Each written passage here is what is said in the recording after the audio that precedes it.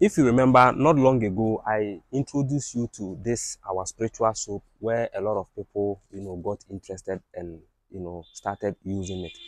And I'm here to indicate to you that the soap is giving out a lot of testimonies by the grace of God. I have received several, several, several testimonies. Uh, some are, you know, through calls, some are through audios, and some too are through normal WhatsApp, you know, text.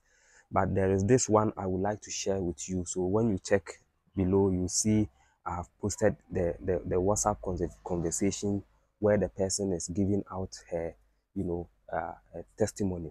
She said that um, it's been a very long time. Anytime she sleeps, uh, someone will come and then have an affair with her, even before she got married and after she got married.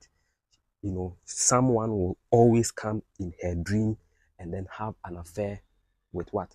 With her. And due to that, you know, her business, you know, things are not going on well with her. So when she heard about the soup and then, you know, pitched some and started using it, uh, this is her testimony you can see below. So I'm here to encourage you that indeed nature is powerful. There is healing in what? In herbs. And God is so merciful. Let's give thanks to God because He is the one who created these herbs we put together to what? To, to, to produce this particular spiritual soap. So what are you waiting for?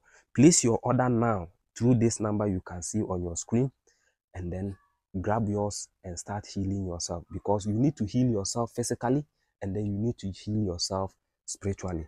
Thank you very much for watching. I will expect your order. Have a nice day.